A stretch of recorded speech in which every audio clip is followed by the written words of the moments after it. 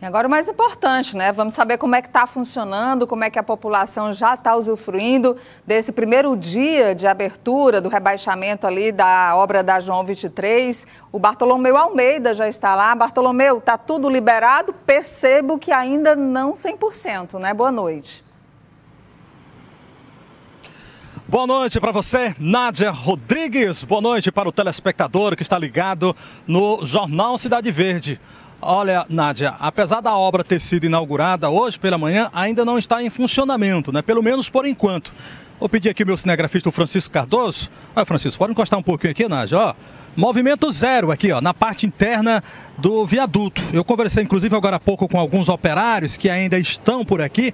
Eles informaram que o viaduto está interditado por conta da retirada de alguns equipamentos que foram utilizados na manhã desta, desta terça-feira durante a inauguração. Algumas plataformas né, que foram utilizadas, tem alguns resíduos ainda de materiais, então eles estão dando os últimos detalhes para definitivamente o viaduto ser liberado. Esta é uma informação extraoficial dos operários. Eu tentei, eu tentei falar, inclusive, com o engenheiro Ribamar Basto, que é o superintendente do DENIT, para a gente trazer a informação oficializada. Mas os operários me informaram, Nádia, de que amanhã pela manhã não, eles não sabem precisamente o horário, o viaduto vai ser liberado. Isso por conta de que o que está faltando para a liberação é, são exatamente esses detalhes que eu falei, ou seja, alguns equipamentos que ainda estão por aqui. Enquanto isso, Nádia, vamos falar então da, da sinalização horizontal e vertical a, a, que foi instalada aqui. Observa ó, que tem uma sinalização de pedestre, esta que dá acesso à Avenida Zequinha Freire.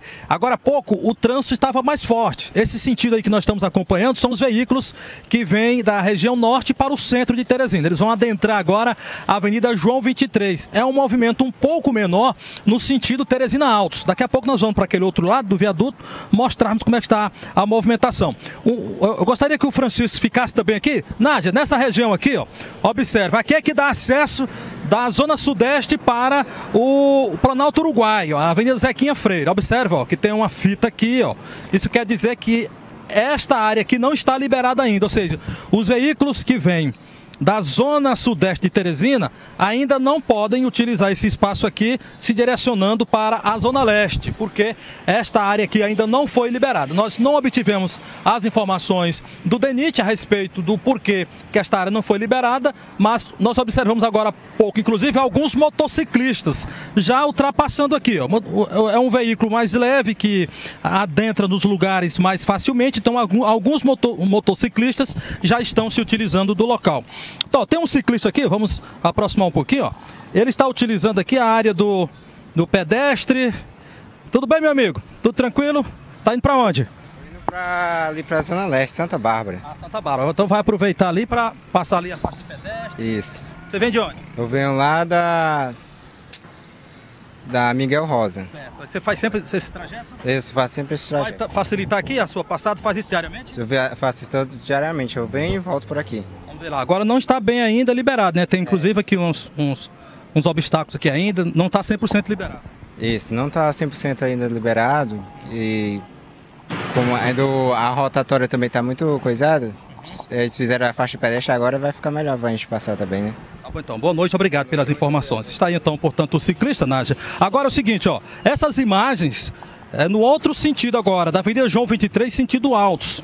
O, o Francisco está mostrando aqui, ó, essa estrutura aqui de concreto que foi montada, exatamente dando um sinal, Nádia, de que esta área aqui, que é a área do pedestre, ainda não está liberada.